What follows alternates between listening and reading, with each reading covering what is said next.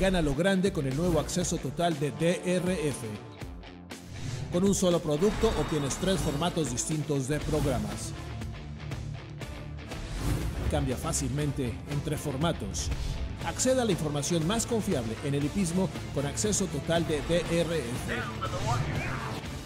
Visita drf.com y utiliza el código promocional OneFreePP para obtener un programa completo gratis hoy.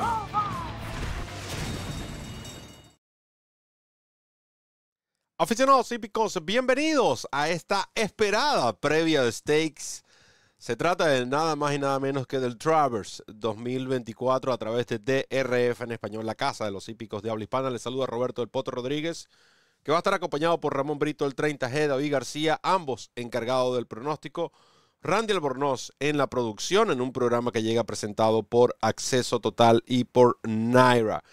Este Travers, podemos decir, y, creo que muchos estamos de acuerdo, si no es una, si no es la, es una de las mejores carreras en cuanto a agrupación de este año. Me atrevería a decir que si combinamos todos los eventos de la Triple Corona o para tresañeros del derby en adelante, que es cuando se empezaron a, empezaron a chocar todos estos, todos estos ejemplares. Ambos sexos, yo creo que esta es la mejor nómina, sin lugar a dudas. Eh, es solamente la presencia de Torpedo Ana, líder absoluto entre las potrancas, creo que eh, lo hace aún más atractivo.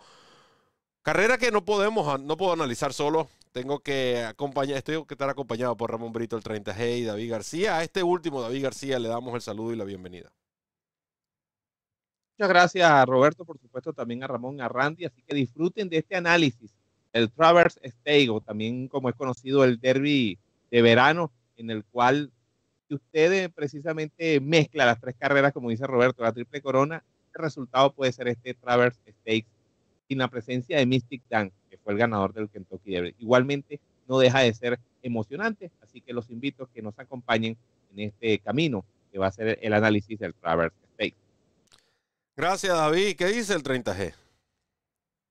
Bueno, contento de compartir este programa con ustedes, contigo, con David, con Randy y con nuestros aficionados de DRF en español que sabemos están esperando ese pronóstico, están esperando la carrera en sí, porque como ya hemos dicho en reiteradas ocasiones, es una prueba que ha despertado mucho interés y que va a tener ese atractivo particular de la presencia de una potranca. No es común eh, ver eh, potrancas disputar el Travers y el, el hecho de que Torpido Ana esté acá ya le añade un valor y una expectativa tremenda a esta competencia. Así es que esperamos que disfruten y que les sea de mucha utilidad este trabajo que aquí comienza.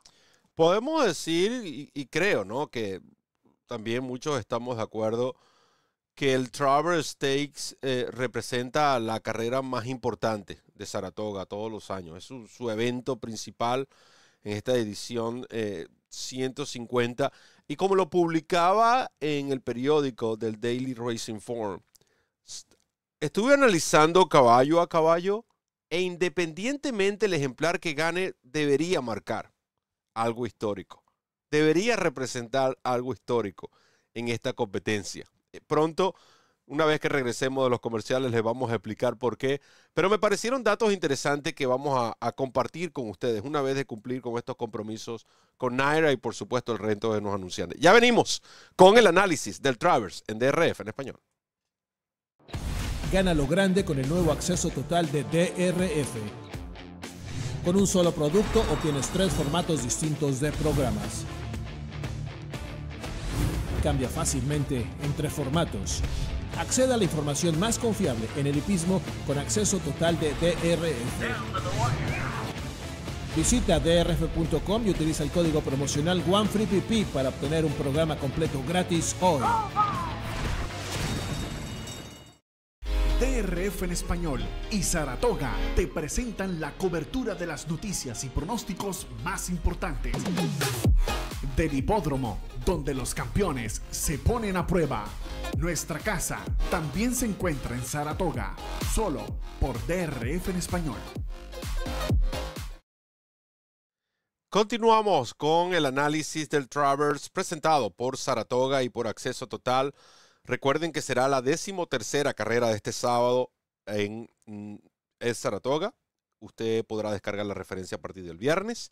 referencia para las 14 competencias. Traverse Stakes, 1.250.000 dólares. Vamos a ver la nómina, carrera que se estará disputando en una milla y un cuarto para uh, ejemplares de potros de tres años. Hipotrancas, por supuesto, aquí participa uh, Torpedo Anna, yegua que está cotizada 3 por 1 en 3 por 1 en el Morning Line que comparte, se puede decir, el favoritismo según la línea matutina con Fearness y Darnock. Son los tres ejemplares que tienen las cotiza cotizaciones de favoritos según, como dije, la línea matutina. Participan 8 hasta el momento y vaya que 8 ejemplares corren aquí en esta competencia.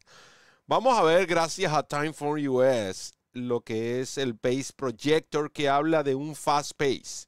Muchos han pronosticado esto. Muchos que consideran que esta carrera va a tener un tren violento.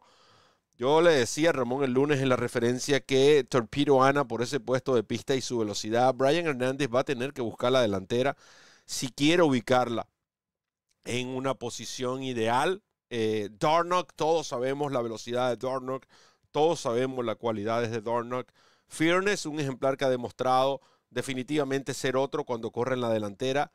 Eh, On Match Wisdom, un caballo que ha mostrado velocidad, pero quizás una velocidad más de un caballo galopador. Por eso lo vemos en la cuarta posición a la altura de el, la primera media milla según el Time for US. Vemos también a Batten Down, caballo que si ustedes escucharon el Space, que eh, donde participó Junior Alvarado, bueno, este caballo posiblemente esté mucho más cerca de lo que dice el Time for US y por supuesto a Sierra Leone al final eh, con el late pace, la cifra de remate más alta de esta competencia según Time for US, de hecho es 126, una cifra altísima para un potro de tres años. Y yo les decía, Ramón, fanáticos, Ramón, David, fanáticos que, nos van a estar viendo, que esta carrera puede representar algún eh, hecho histórico. Primero, todos sabemos, ya Ramón lo comentó, en el, está el caso de la yegua. Eh, esta yegua uh, desde 1915 fue, la última que ganó. Lady Rotha ganó esta yegua. Esa fue la última que ganó el Travers. Sierra Leone le puede dar su primera victoria increíblemente. Sierra Leone y, y On Match le pueden dar increíblemente la primera victoria a Shaq Brown en este evento. El caballo uh, Copper Power, conducido por Javier Castellano, todos sabemos que Javier es el líder en victorias en el Travers, podría llegar a la octava. Y Sean McGehee, de los últimos 14 presentados en el Travers, 10 han estado en el dinero y tiene cuatro victorias. Es el mejor por mucho de los, de los entrenadores que aquí participan. Está el caso de Batten Town y Honor Marie. Ni sus entrenadores ni sus jinetes han logrado ganar el Travers. Bill Mott y um, Bregman uh, Whitworth no ha podido ganar esta carrera. Junior Alvarado, Tyler Gaffalino no han ganado el Travers. En el caso de Darnock, eh, busca bus convertirse en el primer ejemplar desde Point Giving. Creo que Ramón resaltó esto también en DRF en español, en una reseña. Desde el 2001 eh, fue el primer ejemplar en ligar ese doblete, ¿no? Del Haskell y del Travers Stakes. Esto no es fácil. De hecho, esta carrera, el mismo American Pharaoh, el gran American Pharaoh no pudo. Ganó el Haskell, pero todos sabemos que King Ice lo superó por otras razones que sigo considerando yo, pero bueno, carreras son carreras y ya pasaron. Así que eh, busca esta, esto. Y por supuesto, Fearness, en una estadística que no me cansaré de admirar, 483 stakes han ganado. Top Pleasure con John Velázquez. 483 stakes. Es difícil ganar un stakes ¿Tú te imaginas ganar 483 stakes con el mismo preparador? Increíble estos números y por supuesto todos sabemos Fearness, uno de los caballos más populares. Sin embargo, Fletcher ha ganado dos de los últimos 20 inscritos en el Travers Stakes. Así que, dicho todo esto, ¿por qué no aprovechamos también nuestro material de apoyo? Y vamos a ver tres videos consecutivos. Torpedo Ana Darnold y Fearness. Las actuaciones de estos ejemplares, comenzando por la yegua, allí la vemos superando a Candy, que Candy, por cierto, eh, protagonizó un final dramático con Power Screes en el Alabama, pero lo interesante es esta yegua con la facilidad que ella se desplaza. En, en ese evento en particular me refiero al Coaching Club American Oaks. Ella no tuvo una buena salida y con todo eso ganó galopando. Darnock, el valiente Darnock, el caballo que como siempre le digo corre con, ustedes saben qué, además del hombre de los cuatro pulmones, Luisito Sáez, ahí lo ven incansable, ahí parecía que lo pasaba. El caballo Mindfriend, de hecho, según el ángulo, muchos consideran que Mindfriend estuvo en un punto por delante de Darnock, pero Darnock valientemente, no es la primera vez que lo hace, regresó para ganar el Haskell. Y por último, Fearness en esa famosa actuación en el Gene Dandy. Por cierto, aprovechamos para ver también a Sierra León allí rematando por dentro. Fearness y John Velázquez regresaron en plan estelar después de eh, dos meses y medio sin correr. Este caballo regresó fresco, regresó puesto y logró la victoria por un cuerpo sobre Sierra León en una milla y un octavo. Ahora estamos hablando de eh, una milla y un cuarto. Dicho todo esto, visto los videos, conocida la historia, llegó el momento de la verdad. Llegó el momento de conocer qué le agradan al grupo de handicappers de DRF en español en el Travel Stakes. David. Bueno, en el Travers entonces yo les voy a recomendar o, voy a hablarles de Dornock. Es que Dornock, él lo vio ganar en el Haskell de esa manera tan, tan valiente, tan aguerrida, Dornock puede formar parte de una lista de 31 ganadores del Belmont que triunfaron en el Travers. Tú hablabas de Point Given, Roberto, pero hay que recordar que en lo que va de esta década. Después de secretaria, disculpa, después de secretaria para mí ha sido el Belmont State más impresionante, el Point Given. El de Point Given, espectacular. Espectacular. Eh, Point Given, un caballo de, de Bob Buffer, que en este Travers también fue primer favorito, un artículo que ustedes pueden disfrutar en drfenespanol.com sobre los primeros favoritos que han ganado en este siglo el Traverse Stakes y eh, Dorno puede integrar esa lista que, repito, en los últimos cuatro años eh, del evento, eh, Tisdale ganó el Belmont y ganó el Traverse, Essential Quality ganó el Belmont y ganó el Traverse y el año pasado Arcángelo ganó el Belmont y ganó el Traverse. Es decir, que eh, los que han repetido esa de ganadores el Belmont que logran conquistar el Travis y yo creo que Dornock en esta oportunidad no va a ser la excepción. Luis Saez va una vez más precisamente eh, con una estrategia clara, eh, buscando que Dornock no se desgaste ante la presencia de un Fearness, de la velocidad de Torpedo Ana, del de, propio Batten Down, que también va a estar cerca allí de ellos, a pesar de que en la proyección del Time for lo coloca un poquito detrás. Pero eh, si hay algo que tiene Dornock, más allá de lo que dice Roberto, es un gran corazón. Y yo considero como mi favorito, como mi top pick para el Traverse State. A Dornock Boy, un caballo que eh, es entrenado por Danny Gargan, el hijo de, de, Good Magic en Puka, el hermano completo de Mage, el ganador del Kentucky Derby, y que eh, Good Magic precisamente corrió el Traverse y fue primer favorito y no pudo. fue su peor carrera. su peor carrera fue el Travers. Fue la peor carrera, exactamente. Así que Dorno tiene la posibilidad, digamos, de, recuperar el, prestigio, el linaje de, su padre en el Travers por intermedio de él en este sábado en el hipódromo de Saratoga. Así que el 7 Torno para mí debe ser el ganador del Travers Stakes para brindarle entonces esa satisfacción. Como dicen ustedes, al hombre de los cuatro pulmones Luis Saez, a Dani Cargan y a todas las conexiones o todos los allegados precisamente que tienen involucrados este ejemplar, en el cual también inclusive hay deportistas, hay gente de, varios medios que se han eh, unido precisamente en Dornock y han disfrutado del deporte hípico a su máxima expresión y así lo hemos visto en los triunfos tanto del Belmont State, que ya lo ganó en milla y cuarto en Saratoga, porque ese es el otro punto importante, ya ha corrido dos veces la distancia y Dornock ha ganado en Saratoga en milla y cuarto, que no es lo mismo la milla y cuarto de Saratoga que la milla y cuarto de Belmont o la milla y cuarto de Aqua. Así que les dejo entonces mi información y mi favorito para el Traverse State.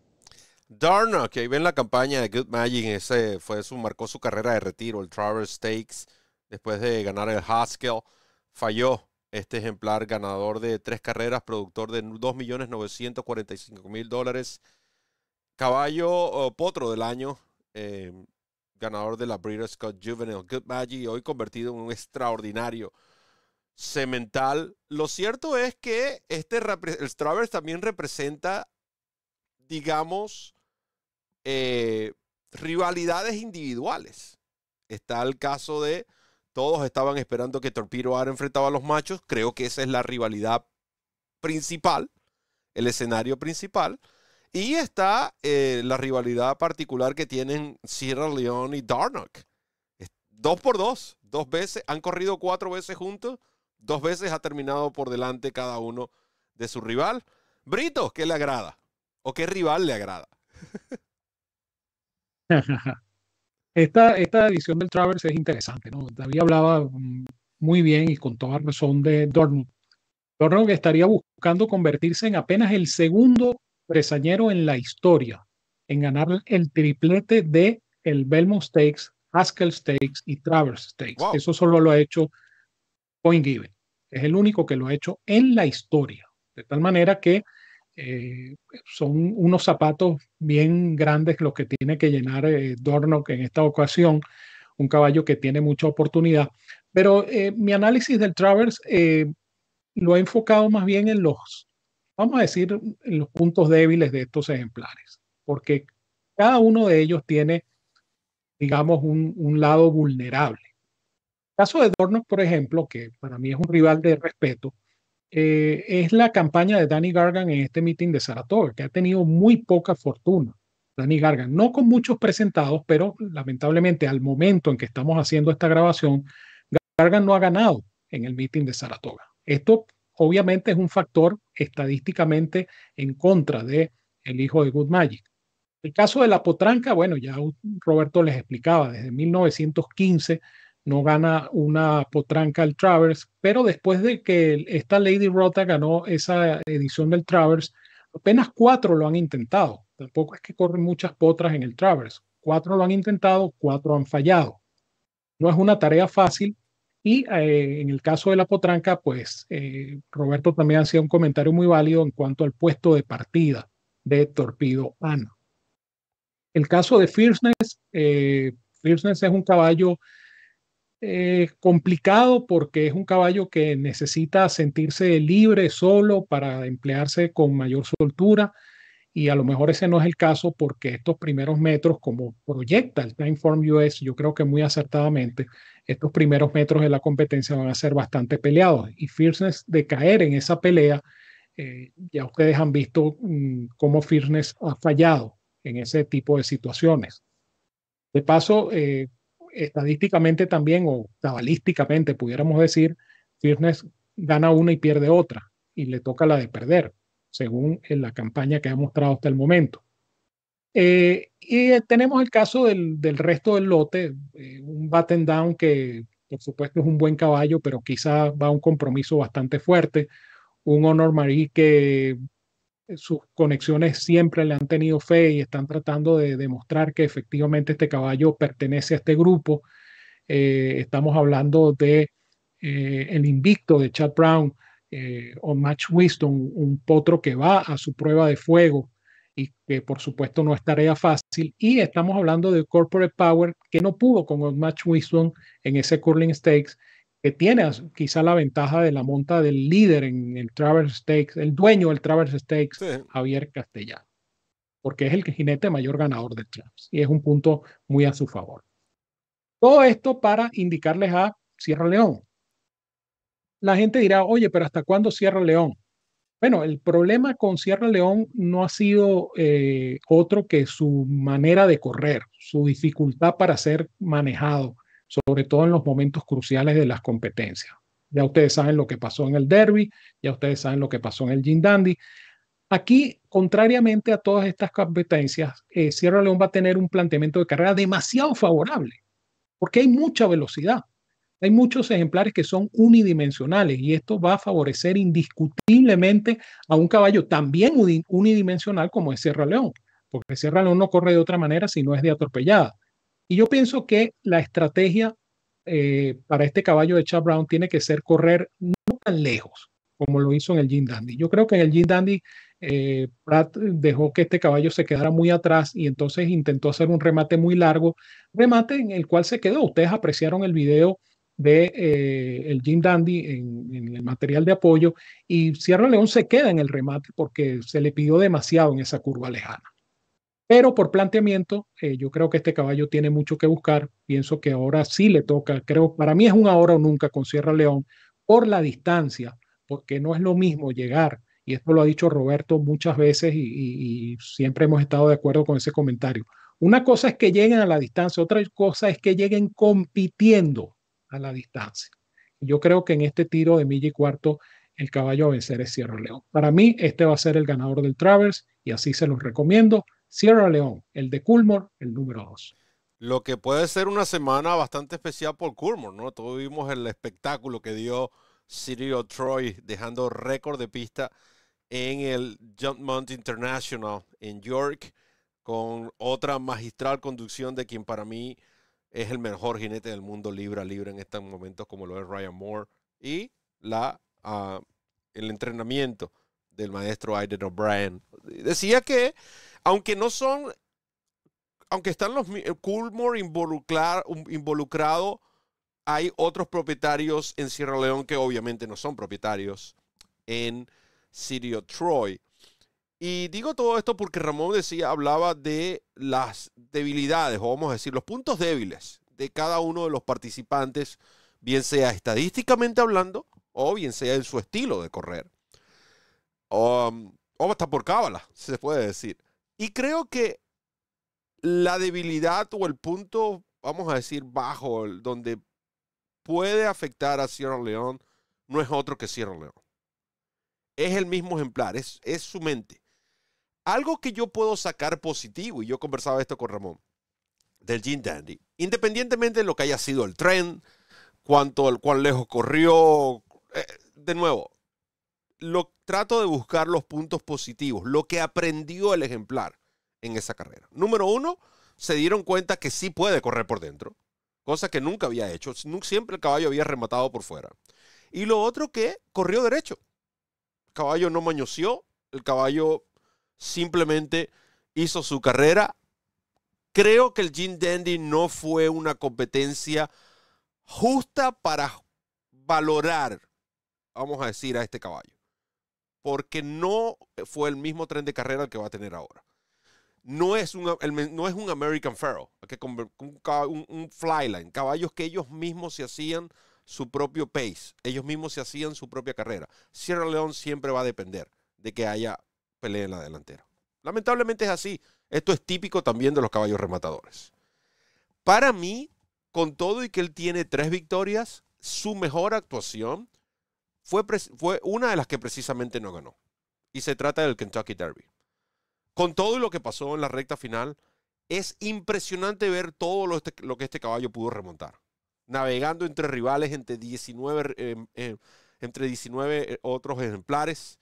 Eh, todos sabemos lo dificultoso del Kentucky Derby, la condición de la pista, cómo este caballo pudo arremeter y, todos pensábamos que Sierra León iba a ganar fácilmente el, Kentucky Derby, por lo menos por dos largos, y surgió aquella situación donde comenzó a cargarse hacia la parte interna y toda la polémica que generó este accionar de este pupilo de Shaq Brown. Y todos sabemos aquel regalo de baranda que se le dio a Brian Hernández con Misty Ten. Lamentablemente también producto de que Darno tuvo una mala salida y donde Misty Ten corrió era el puesto donde estaba supuestamente a correr Darno, pero esas son situaciones de carrera. Y yo estoy de acuerdo con Ramón. Mucha gente va a decir, bueno, pero es que esta gente sigue insistiendo con Sierra León. Sierra León para mí sigue siendo, conjunto con Tropiro Ana, los potros con más talento en la actualidad. Que eso no es suficiente, estamos en lo cierto. De que quizás Dornock o Fearness no tengan el mismo talento, pero han demostrado donde se tiene que demostrar en la pista que son caballos que pertenecen a este lote y que Sierra León lamentablemente no ha podido hacerlo. Bueno, yo creo que mañana, este sábado es el día una milla y un cuarto, pelea en la delantera garantizada porque como decía el lunes, ninguno de estos jinetes se va a dar el lujo de dejar solo en la delantera al otro. Y voy a repetir exactamente lo que dije el lunes. Si dejan solo ir a Johnny, no lo van a agarrar. Si dejan ir a Luisito con Dornock, no lo van a agarrar. Si dejan ir a Brian Hernández con la yegua, no la van a agarrar. Y así lo sé yo, lo saben ustedes y lo saben muchas personas, pero sobre todo lo saben los jinetes, los entrenadores y los propietarios. Ninguno va a soltar a ninguno. Y si eso llegara a ocurrir, ahí tenemos a un match, un match wisdom que no estamos hablando de que no sea algo ilegal. Shaq Brown va a mandar a este caballo a la delantera porque él necesita que su ejemplar tenga un, un pace garantizado. Hay muchos factores por los cuales me agrada Sierra León, más allá de que soy fanático de ese ejemplar. Para mí la yegua es su principal rival. Yo sí creo en la yegua. Yo sí creo que esta yegua tiene la calidad para derrotar a los machos. Muchas estadísticas en su contra, lo entiendo. Y si hay un caballo, dos ejemplares que pudiera decir incluirlos para jugadas de trifectas y superfectas, son estos Corporate Power y Honor Murray. Corporate Power primero por la monte de castellano. Segundo porque es un caballo que también se va a beneficiar del pace. Y tercero, porque este caballo anda increíble. Es de todos el que ha trabajado mejor es él. Y en el lado de Honor Marie, eh, ustedes saben también que es un caballo que yo siempre he considerado que es muy buen ejemplar. Y si a ustedes admiraron el Belmont Stake de Sierra León con todos los tropiezos, este caballo también tuvo, este tuvo una partida peor. Y finalizó en la cuarta posición y ahora lo conduce Tyler Gaffalion. Para mí, esos son dos caballos que seguramente en mis jugadas de combinaciones yo los voy a incluir. El número 4 y el número 6, porque hay que buscar un buen dividendo en este Travel. David, con la despedida. Bueno, muchas gracias a ustedes y por supuesto siempre pendiente del contenido audiovisual en drfenespañol.com, la casa de los hípicos de habla hispana en este canal de YouTube. Así que a disfrutar de este Travels Stake porque el segundo semestre del año, pues esto es apenas el abreboca de lo que puede ser esta Breeders' Cup Classic el mes de noviembre. Así que los invito también para que cuando exista la previa de los stakes, usted la disfrute por acá con nuestros comentarios en la Casa de los Hípicos de Habla Hispana. Brito. Bueno, muchísimas gracias por la sintonía. Esperamos que esta, este análisis les sea de mucha utilidad. La decisión más importante al final la toma usted, quien nos está viendo. Usted simplemente utiliza estos espacios como referencia, como una suerte de ayuda, pero la decisión final está en sus manos y ojalá que esa decisión final sea productiva. Como siempre les digo, los quiero mucho y los quiero de gratis. Fuerte abrazo para todos donde quiera que se encuentren. Cuídense mucho. Sigan en sintonía de este canal, el canal de YouTube de DRF en español, la casa de los hípicos de habla hispana, que es nuestra casa y sobre todo es su casa. Queremos recordarle a los fanáticos que van a estar viendo este análisis del Travers antes de la jornada de Woodbine del viernes, que participen con nosotros en la transmisión.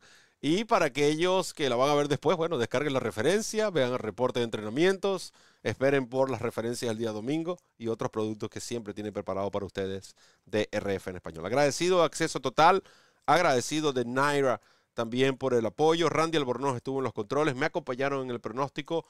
Ramón Brito del 30G y el Rey David, David García y quien les habló Roberto El Poto Rodríguez les recuerda correr la milla extra. Hasta el próximo programa.